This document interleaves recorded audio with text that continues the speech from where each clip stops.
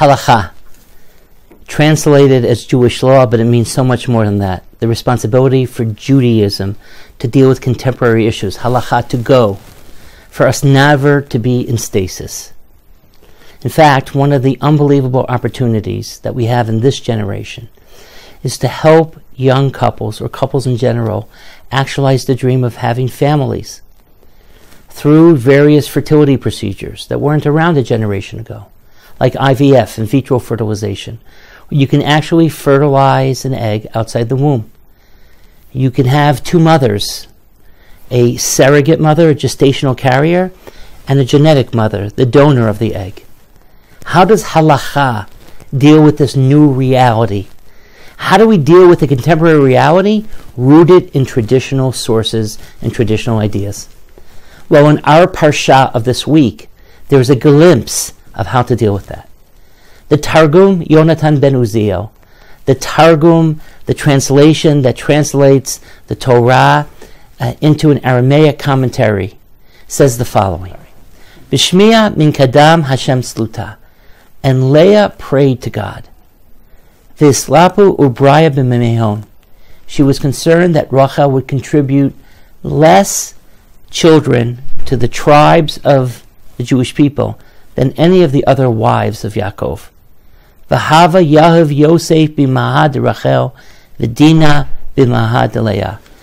And she requested that there be an interuterine transference. She felt that she was pregnant with Yosef and that Rachel was pregnant with Dinah. She asked that Dinah be developed in her womb and Yosef be developed in the womb of Rachel. From this midrash, from this quasi halachic source, our rabbis posit that perhaps the definition of maternity, a challenge that is dealt with in contemporary literature every single day in our court systems.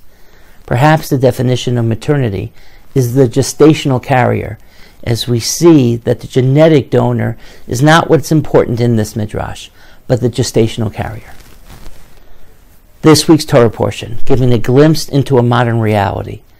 But for us, I think the message is because this issue is not yet solved who is the mother, and it will take another 20, 30 years for us to come to some closure on this issue. But what is critically important is the recognition of the fact that contemporary realities need to be deal- dealt with. We can never be in a state of paralysis. And at the same time, we must find the roots of how to deal with contemporary issues through our tradition. Parshat Vayetze, giving us an insight into dealing with a contemporary reality, recognizing that the immortality of our tradition is predicated on the fact that halacha is not about Jewish law, but halacha is about the evolving responsibility of making sure that Jewish tradition confronts contemporary reality. Shabbat Shalom.